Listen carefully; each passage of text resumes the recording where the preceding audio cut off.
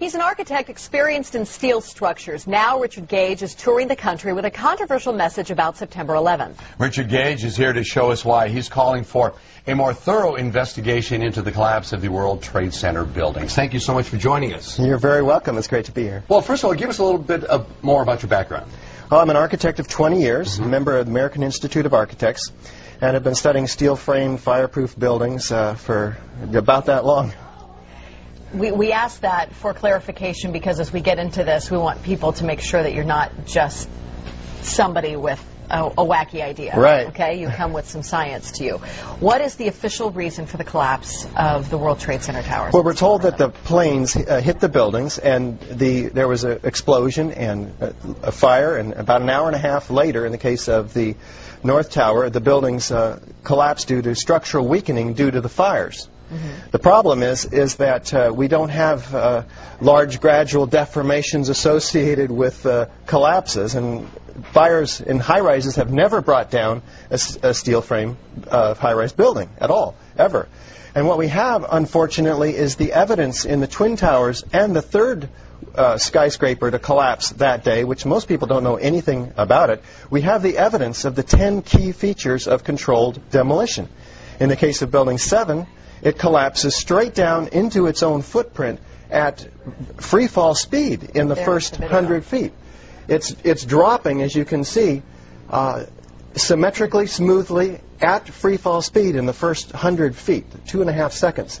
This is uncanny. There's 40,000 tons of structural steel designed to resist this collapse. So what, a 47-story building? Yeah. It's just called Building 7, right uh, a football field away from the Twin Towers. Mm -hmm. Okay, so what we're showing is left what happened. In fact, right is a controlled where you are using, or the people who made this happen, used demolition. Indeed, uh, and it's a, a direct devices. comparison. And you can see that indeed almost uh, free fall speed, free fall acceleration through 40,000 tons of structural steel. That is uh, uncanny. So we have 700 architects and engineers demanding a new investigation as a result of this evidence and the evidence in the World Trade Center that is very explosive. Almost every architect and engineer we show this information to agrees with us that these are controlled demolitions. If we can get them to look at the information, because obviously the implications of a controlled demolition are dark for our country. Yeah. Because that means somebody besides Al Qaeda was involved. Because these have to be easily three of the most highly secure buildings outside the Pentagon. Now, if that was a controlled demolition, would there not be any uh, evidence at the ground level of explosives within the uh, the, the, the, building debris? itself? That's the debris that's left. Indeed, and what we find down there is pools of molten iron. What does that uh, mean? Uh, several tons. Exactly. What is that doing there? The first responders see it. The structural engineers see it. It's documented by FEMA. The melting of steel. Normal office fires is what's supposed to have brought these buildings down, along with jet plane impacts. The jet fuel and office fires don't produce molten iron or molten steel. It doesn't begin to melt until 3,000 degrees. But what we have is uh, the fires only produce maybe 14, 1600 degrees. So what produced all that molten iron? Well, it has in it the chemical evidence of a special incendiary, uh, which is thermite, a high-tech incendiary used to cut through steel like you a hot knife through that? butter. Indeed, in all of the dust throughout uh, lower Manhattan, uh, we have a four to six inch thick layer of of, of this dust, and throughout it we have uh, evidence of tiny spheres, billions of them, several tons uh, of previously molten iron. Well, how does that happen?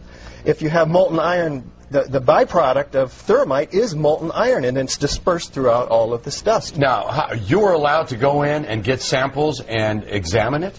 Oh, there's there's plenty of dust. Uh, a lot of people have this dust, and four of these samples have been sent to physicist Stephen Jones, uh, formerly of Brigham Young University, and they find in it uh, not only these spheres, uh, with which which others have found too. USGS, R.J. Lee, doing toxicological studies.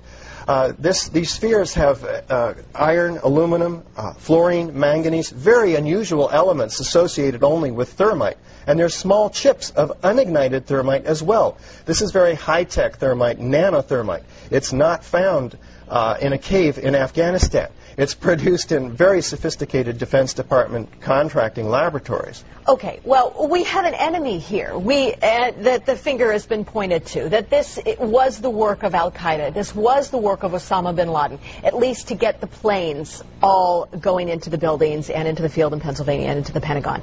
Is there no way that they then could still be the enemy that placed? Those in the buildings first and then did the incendiary device via a plane second? Right.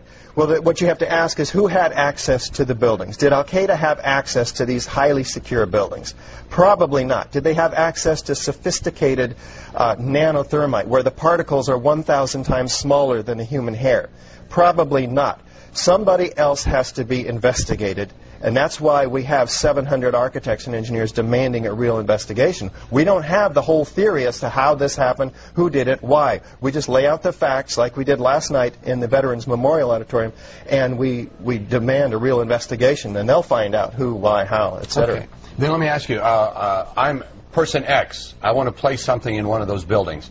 Where would I carry it? How big would it be? Is yeah. it that visible that I would be spotted by security, or could I place it uh, in one of my tooth fillings? Yeah, we're talking about several tons of nanothermite and ordinary thermite. One would have to have access through security. So the security company involved for the World Trade Center should be thoroughly investigated. And uh, it turns out to be Securacom, Stratesec. Somebody should look and see who's on the board of those companies uh, some very interesting individuals uh, turn out to be.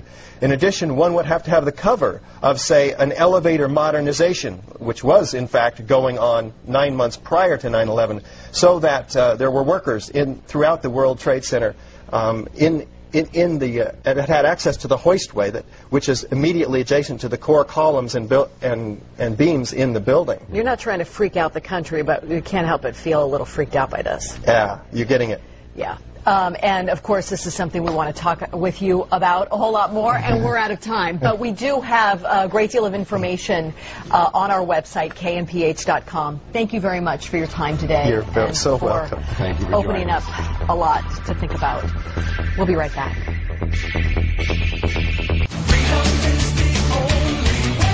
Terrorists, your game is through.